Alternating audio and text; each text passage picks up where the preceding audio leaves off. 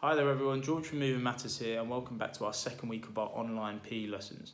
This week's focus is going to be cricket and our topic for today is going to be uh, catching. So we're going to have two different types of catching, uh, a low catch and a high catch.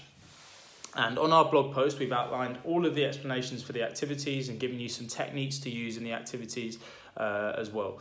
So, uh, for the low catching activity, you may need a partner, um, or if you're lucky enough to have a tennis ball or a wind ball, you could use a wall uh, to do this activity as well. Uh, for the high catching, you can do it by yourself. You don't need to. You don't need a partner for that one.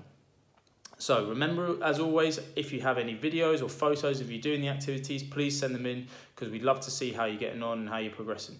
Uh, make sure you're being safe and make sure you have an open space to do it. It's probably best to do these ones outdoors so nothing gets broken in the house. Anyway, have a good time and let us know how you're getting on. Thanks, guys.